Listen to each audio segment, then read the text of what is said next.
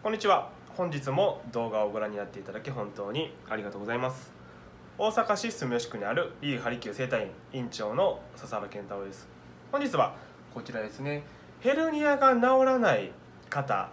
は一体どこに行けば治してもらえるのかについて話の方をしていきます。で今日なぜこの話をするのかと言いますとヘルニア治らない方っていうのが多いんですね。でその多い中でよく受ける質問がどこに行ったらいいんですか？ずっと痛いんですけど整形行っても接骨院行ってもなかなか治らない。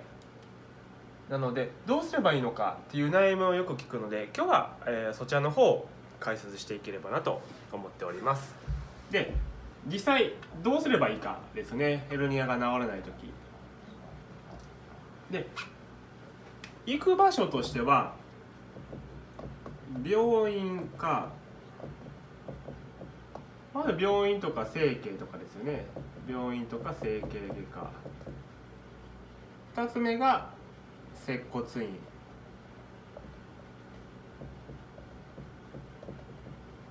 で3つ目がこういった整体院とかですね。でこっちは言ったら保険適用です。保険適用で。でここは保険適用外ですね。このどれかに行くことになると思うんですね。でここのどこに行けばいいのかなんですけども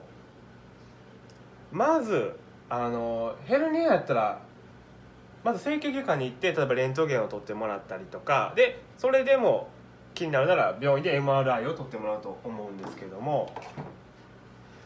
あのヘルニアって取ったら何か治療してくれるかいって実はしてくれないことが多いんですね。結局その場しのぎの対処療法が多いのでだからあのヘルニアの手術の適用レベルっていうのがあって例えばもうずっと痛いのが何してても痛い。もう楽なポジションがなかったりとかあとはもう足がブラブラで動かないとかあと排尿排便障害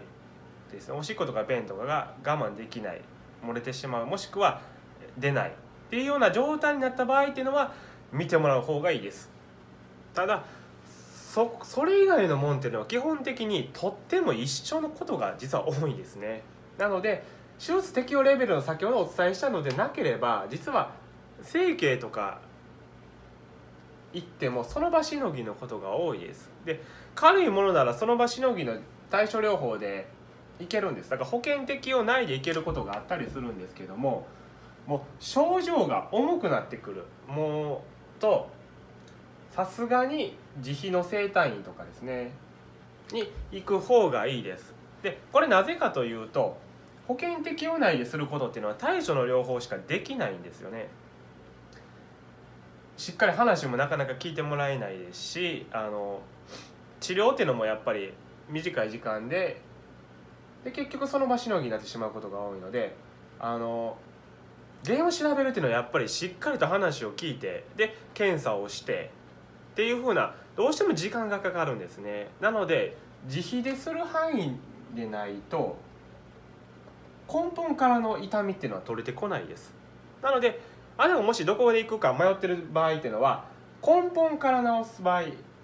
本根本から治す場合は自費のところですね。接骨院でも自費でやってるとこがありますのでそういうとこに行く。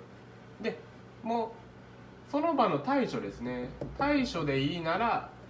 保険聞くとこに行く。っていう分け方にしていただければなと思います。ただ本気で今後先これから先ヘルニアにならないようにしたいならばしっかりと治すように整体に行く方がいいと思いますので是非その辺は自分がどこに行きたいかっていうのを考えながら選んでいただければなと思います。はいそれでは以上ですね。本日も動画をご覧になっていただき本当にありがとうございます。